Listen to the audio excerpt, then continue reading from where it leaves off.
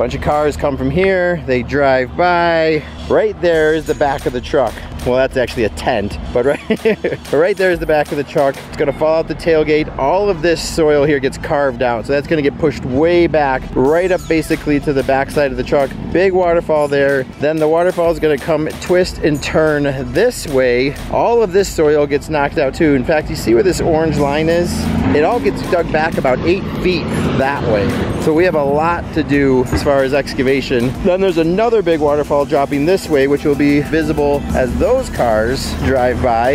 And then there'll be another one back in here that's actually gonna come out from the center of the truck. So there's the front of the truck and look at the detail. But how cool is this that you guys get to see it at this stage before the top goes on and everything else.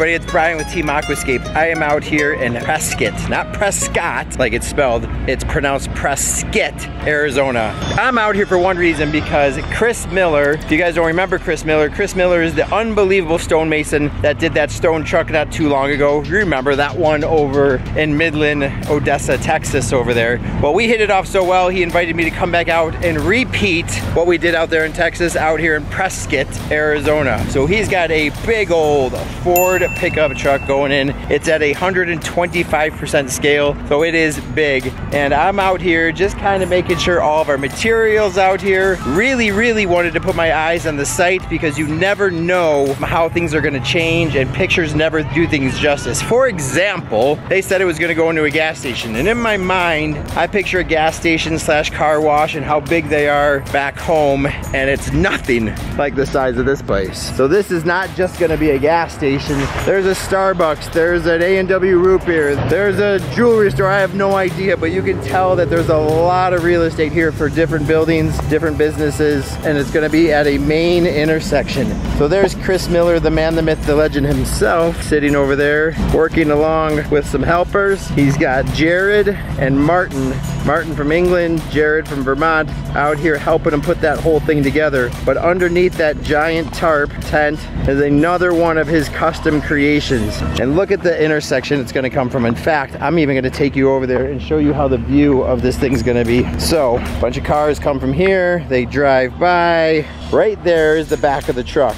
Well, that's actually a tent, but right, right there is the back of the truck. It's gonna fall out the tailgate. All of this soil here gets carved out, so that's gonna get pushed way back, right up basically to the backside of the truck. Big waterfall there. Then the waterfall is gonna come twist and turn this way. All of this soil gets knocked out too. In fact, you see where this orange line is? It all gets dug back about eight feet that way. So we have a lot to do as far as excavation. Then there's another big waterfall dropping this way, which will be visible as those cars drive by. And then there'll be another one back in here that's actually gonna come out from the center of the truck. Now let's sneak in there and see if you guys can see that any better from inside. But we'll have the typical waterfall. it's so funny because I say typical, like you've seen this a bunch of times before, but the one other time we did it, we had water coming off the tailgate. We're gonna do that again, but this time we're gonna have a lot of other waterfalls coming from around the truck. Just really trying to grab everybody's attention from this intersection. And really trying to pull people into the whole little building thing they got going on over here. Let's go inside, meet these guys. And here's actually a layout they've got all set out here. Here's that truck dropping into a pool. So dropping off the tailgate, dropping into a big giant pool, drop it again, twisting, turning around. The only thing is instead of it finishing all the way in front, it's probably gonna finish more like here so we can get another big waterfall coming this way. So there's the front of the truck and look at the detail. But how cool is this that you guys get to see it at this stage before the top goes on and everything else. Here's Jared. Jared, right? Yeah. Jared, you're from uh Brattleboro, Vermont. All right. So Chris convinced you somehow to come out here and do this again. Yeah, on the trucks that are larger scale, he brings me in to help with the rigging. Yeah. Um, slinging these Does he 2,000 pounds. does he twist your arm like he twists mine?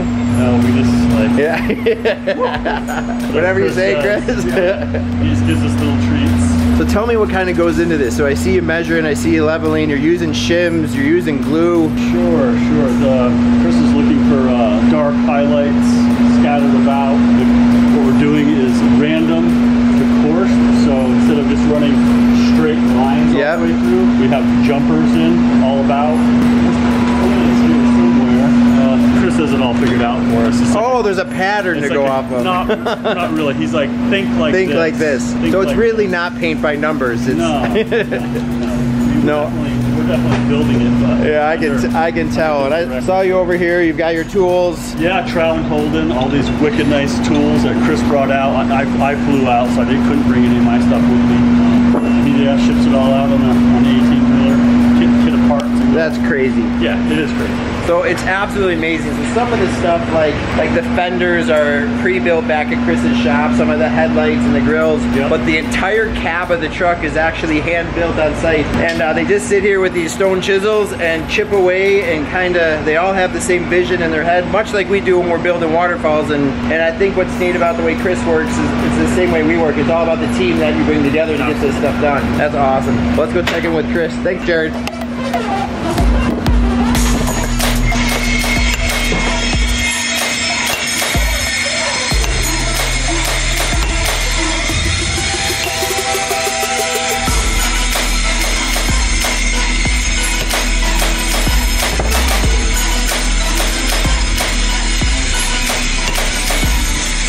Guys, these are the two of the top stone wall, dry stone wall people in the country. This is a sculpture, it's not a dry stone wall. But the reason I have these guys in here is I can sort of teach them what they need to know about how to shape granite. It's not something they usually use. But they have the eye of how to pattern stones together randomly. Yep. And that's not easy to do. No, So it's- it's sort of like hiring Aquascape because they're professionals who know what they're doing. You hire these guys and you can step back and just every once in a while you look at them like, okay, a little bit more here or there. But they have the eye for it. A hundred percent.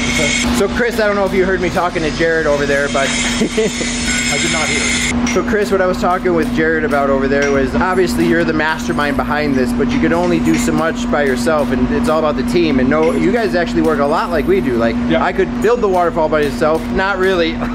so I bring in a team, and so we've got Jack, you know, from Atlantis coming Yep. out. We got Ralph coming out Yep. from Pondscapes, and working with talented people makes it go that much easier. And sharing the vision, right? So Absolutely. they've worked with you enough now that they share the same vision that Yes. you've got and they know how to do this, which is so, so important. You want to work with professionals. Yeah. You really don't want to mess around. Well, this is a huge undertaking. This, I think you told me this is at 125% Yes, scale. And not only that, it's a, it's a 53 Chevy, and he put it, it's a replica of the client's car. But his 53 is on a, like a 74 four-wheel drive chassis. Uh-huh. They didn't have four-wheel drive in the 1950s. And it's jacked up. So you have this massive wheel wells, and his truck is, is this is just a little bit of an exaggeration of what his truck is. But it's, it's supposed to look lifted and jacked. You get this, you know, two and a half feet of air underneath you. And this is a different design than every one of them Yep. has changed. The one I did with Tony Sargent in Yep. Georgia was a solid foundation all around with a solid infill. And then I said, I want light to come through here. So the next one in Maryland had it cantilevered out over the front foundation. And then I said, you know, if I'm doing that with a metal frame, why can't I do that with the one in Texas? Has remember the blocks that were between the wheels? So you could see under this way, but you couldn't see under that way. And this one's fully suspended. It looks like all the weight's on the wheels. it does. It really- I mean, you really can't see it. And what are those, It's 30 magic. Are those 36 inch wheels? They are 32 original, so they're 40 inch. 40, 40 inches. These are 1,800 pounds a piece. Oh my God, you said about three days per, per wheel, three and a half? carving per, per Oh wheel. my yeah, God. Yeah, yeah, yeah. Just amazing. So this frame that's holding this thing up, it's 47,500 pounds of stone was shipped here. So it might be a few thousand less with the scrap on the ground, but it'll be 45,000 pounds or so when it's done. Well, I think what's going to be nice is actually lifting this one up a little higher gives us the opportunity to actually get water to come kind of up and underneath this a little bit more with almost like another waterfall right where Jared's sitting then facing towards the intersection over there. So not only will we get a big waterfall coming out from this area, we're going to get a big one coming off the tailgate. And every single one of these you're learning a little bit more. So yeah. this one we've got a different plan for the liner inside. And I'm not even going to try to explain to our customers how that goes. We'll right? it. We'll it's challenging. It, I can just say it's challenging, but here's a quick look at the inside, the interior of this. Yeah, I would explain it to you, and then one of you guys would go out and try to do it, and eh, they'd probably still fail. So there's no sense in doing that. I want to say one of the things about the collaboration with having the really good people here, that one of the reasons I like working with Aquascape is because I know you guys, what you can do and what you can't do, which is almost nothing. But I can take my vision, plunk it here, take what the client general idea wants to do, throw in my two cents and what I think should happen, and then stand back and watch you guys come in. I watch you come in this morning and your eyes light up. Holy shit, look at the size of this thing. and like, okay, we can have this coming here, and then with the road here, we're gonna have lots of splash here. Why don't we add this here? And I can just stand back and trust that your artistic vision is gonna blend as a collaboration with this. Very comfortable. I know this is our second project together, your third project with certified aquascape contractors, and it feels like this is probably just the beginning of a beautiful relationship. We've got a bunch of other stuff we want to do together. There's a big project in Chicago. Hopefully. Yeah. There's five more trucks and maybe more vehicles, and every one of them is going to have a water feature, and every one of them is going to be aquascape. That's no, no awesome. question. Well, it looks amazing. You can see how much work and effort goes into this. It's not something where you just pick up a kit at Home Depot and, and slap it together.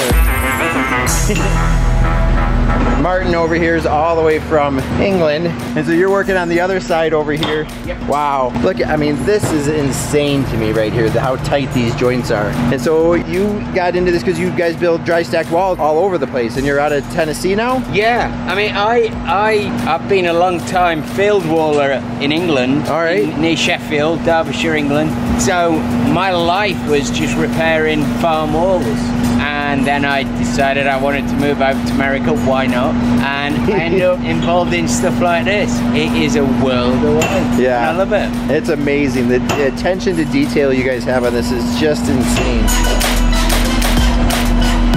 I think it's about 12 o'clock and I'm only here for a day, so let's go grab some lunch and give you guys a little break. And I can't wait to come back with Jack and Ralph, the rest of Ralph's crew, and see how far they've gotten in a short amount of time. They've only got another week before we get here, exactly seven days before we get here. And to me, it seems like an extraordinary amount, but they've already gotten that much done in a single week. So I have total faith it's gonna be awesome. You guys hopefully enjoy this video as much as we enjoy putting this stuff together. And that's that. Hey, let's go check out the rocks really quick while we're here. Just make sure we have enough and then we'll go get some lunch.